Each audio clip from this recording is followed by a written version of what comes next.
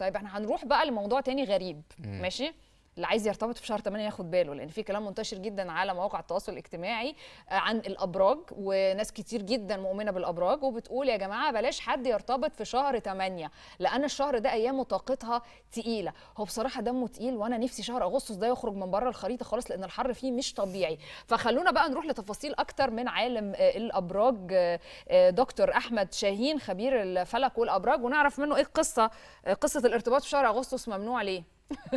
صباح الورد يا دكتور. صباح النور صباح النور عليك أستاذة مها وأستاذ كريم وجميع مشاهدينكم الكرام. طيب. خلينا في البداية نقول هل أصلا معلومة إنه ما ترتبطش في شهر أغسطس لأن طاقته تقيلة دي صح ولا غلط؟ ده صحيح. في أشهر بعض أشهر السنة وخاصة شهر 8 الكلام ده صحيح. لكن ليه أسبابه مش اعتباطا. هم، آه، شهر 8 رقم 8 في علم الطوالع والأرقام يطلق عليه بيت الانكيس أو الخوف أو الهموم. رقم 8 لما يكون لما بحسب لشخص إنسان وإنسانة أو شاب وشابة أو حتى في الشراكة أو الصداقة أو الزواج من خلال الأسماء وتواريخ الميلاد يطلع لي رقم 8 ده يطلق عليه آه، رقم الهم والخوف والمشاكل والهموم.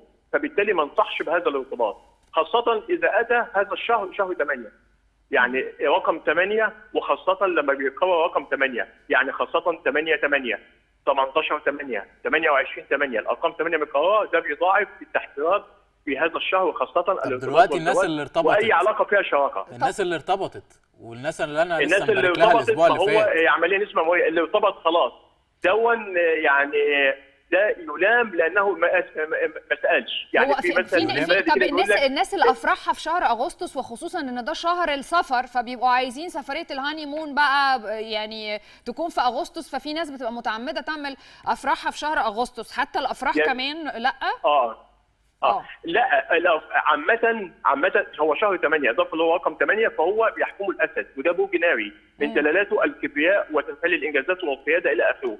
في بعض الغرور والكبرياء هم. الحته اللي هو ما بيرتبطش أو ما يعملش أفراح دي بنسبة مئوية تختلف من برج لبرج. بمعنى إن التحذير ليس 100% إلا لبعض الأبراج معينة اللي بي- بيتصل بيها برج الأسد أو اللي هو شهر 8 طب إيه. الأبراج إيه الأبراج التانية حضرتك كنت ذكرت إن في بعض الأبراج لا يفضل في وقت آه. يعني بعض الشهور عفوا ما يفضل ما يبقاش فيها ارتباط إيه تاني غير أغسطس تمام إحنا عندنا شهر 8 شهر 11 تمام؟ لأن شهر 11 بي- بي- بيحكموا ما بين ال- العقرب والقوس وفي تحذير جدا. العقرب هو برج سقوط القمر القمر بيت السرطان. لما بيكون في العقرب بيبقى الوجه المقابل للقمر. ولا ولا يشترط ولا يعني ولا آه، ينصح بأن آه، آه، الرجل يدخل بالمرأة أو يتزوج يعني ليله الدخله أو كتب الكتاب أو زواج والقمر في وباله بمعنى أنه لا يكون في بيته لأن القمر لما بيكون في العقرب بيجلب الغيره والعدوانية والمشاكل طب لو بدايه لو بداية. علاقة عاطفية ما. بقى- يعني نأجلها في لو جت في شهر 11 أو 8 آه، بالظبط كده وهذا يا أستاذة مها ده فايده علم الفلك إحنا بنقول اساله مش هياخد منك خمس دقائق عالم فلك أحسن آه. ما يحصل مشاكل وتدخلوا المحاكم طيب شهر شهر. نوفمبر شهر نوفمبر آه، شهر 11 وشهر 8 وشهر إيه تاني؟ شهر 11 وشهر 8 وشهر 3 امم خلي بالك بقى يا كريم عشان لو حد آه، جه يرتبط يعني بيك أنت- في الشهر ده قول له لو سمحت استنى استنى شوية. عليا شوية. استنى لكن دي. عملية دي نسبة مئوية بمعنى ان التحذيرات بتبقى المواليد شهر 8 يعني التحذيرات دي في شهر 8 عامة. من أكثر الناس اللي توصلهم التحذيرات دي بنسبة 2% هم مواليد شهر 8 اللي هم الأسد.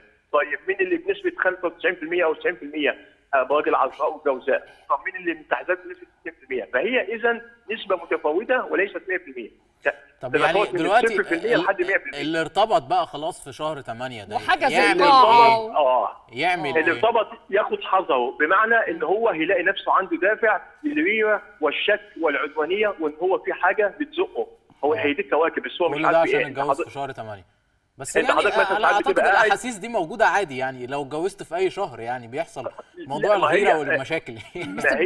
بتحصل عادي. بس حضرتك ساعات مثلا بتبقى بتحس إن أنت استفزيت أنت مش عارف في إيه. صح. أنت فجأة. فجأة مشاكل من لا شيء بيعمل من الحبة. قبه يا رب في إيه؟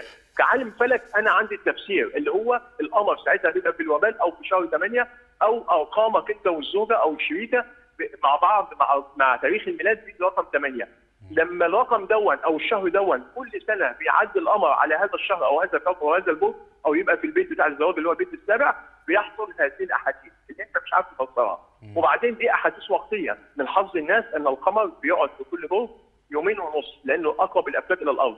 فإحنا نعمل إيه؟ ردا على سؤال حضرتك. آه. نستنى اليومين دول نهدى. أنزل يعني أمشي من وشها أنزل أقعد على القهوة آه، أروح لوالدتي آه، أقعد مع أصحابي. يعني أبعد عن وشها خالص وهي تبعد عني. اليومين دول يعدوا بسلامة لا يعني معقوله ي- معقولة اتنين لسه متجوزين يبعدوا عن بعض؟ لا ده برضه- شوية يعني كام ساعة مش مش يسيب لها البيت مش ويمشي يعني. مش هيبعده ينزل السوق. آه. يعمل شوبينج يقول لها أنا ينزل يمشي كذا رجله كذا كذا. كده. يحاول يأخر على قد ما يقدر. آه. نشكرك طبعا شكر جزيل أحمد شاهين خبير الفلك والأبراج.